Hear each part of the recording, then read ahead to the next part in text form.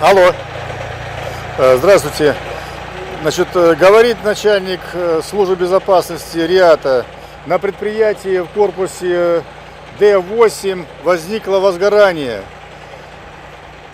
Д8, Парижская коммуна 16.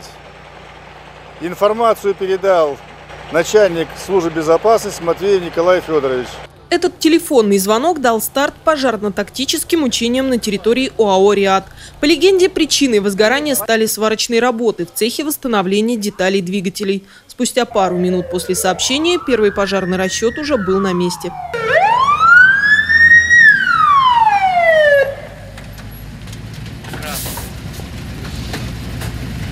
Пожарные немедленно приступили к тушению. Неподалеку от поля боя с огненной стихией был развернут оперативный штаб.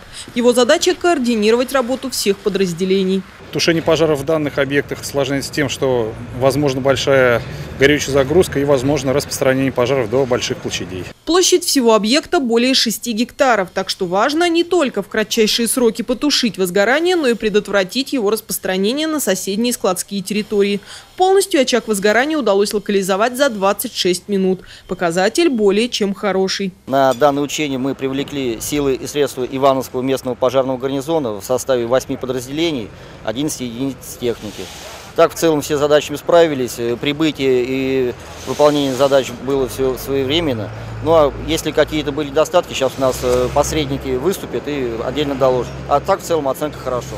Такую же оценку пожарные дали персоналу предприятия, за исключением некоторых недочетов, которые, разумеется, предстоит устранить. К возможным чрезвычайным ситуациям администрация объекта готова. Наталья Романова, Андрей Семиволков, РТВ Иванова.